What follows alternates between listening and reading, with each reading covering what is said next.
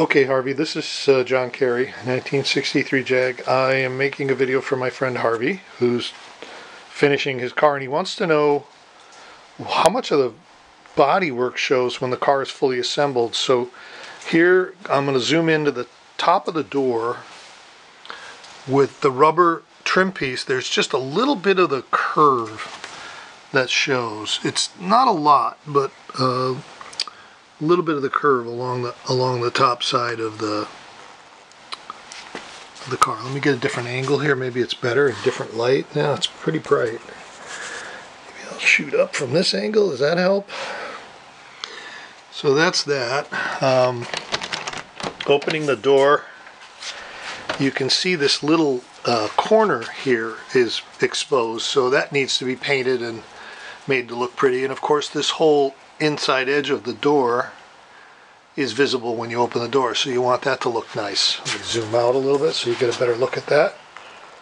Okay, now with regard to uh, an area I think a lot of people overlook is this spot right here on the top of the door metal. This is all exposed. The inside of the door here you can see, and then this little drip tray is all visible.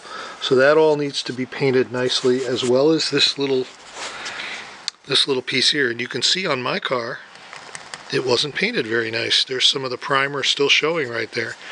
So it's an area to pay some attention to because it's visible. And then uh, turning this way, you asked uh, how much of the body work is visible when um, the interior is installed, I should say, uh, when the, let me see if I can block some of that light. You can see that this whole edge here inside the drip rail this is all body color up to where the rubber seal is. And that's all visible all the way around all the way up to where the quarter glass frame is uh, mounted. So you want that to look good. Now in the quarter glass area you really don't see a lot of it but there's a little bit just this little edge along here and when the windows are open, then there's more of it visible and on the bottom. So I would have all of that lip all the way into where the uh, uh, where the seal goes. Uh, have I would have that whole lip painted, and the, on the, out here on the bottom side, this whole corner uh, all has to be finished off. If that's not looking nice, it's going to be funky. So you want that, and then of course this whole strip here, uh, the B pillar uh, you want that to look nice. So that's kind of the way that looks there. Okay, so now you asked about inside the car. Let me just get in.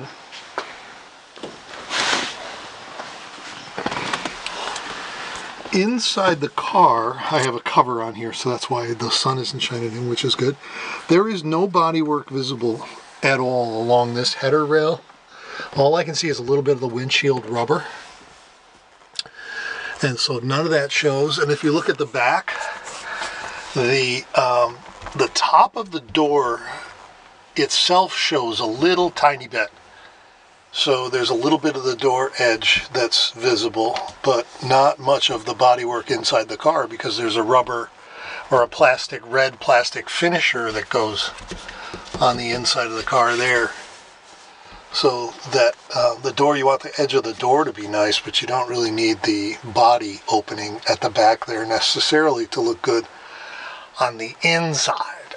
On the outside, however, that's a different story. So let's go around to the back of the car now.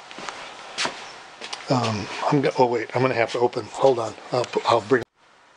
Okay, we're back, and uh, so now I have my door, rear door open, and the roof line uh, goes down into this little uh, area where the seal is installed. You want that front edge as it rolls over to look nice, but anything under than that is not necessary. Same thing along the sides. You have a little bit of the bodywork is visible as it rolls over, but not much.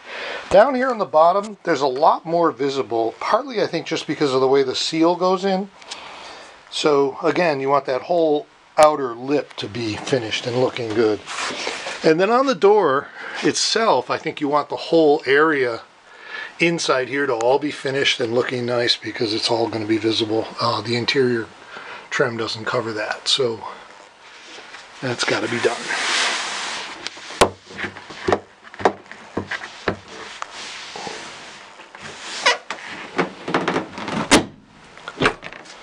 Okay, so I think that's everything you asked me about. Um, if there's more stuff you need to know, let me know and I will take more videos. Okay, bye.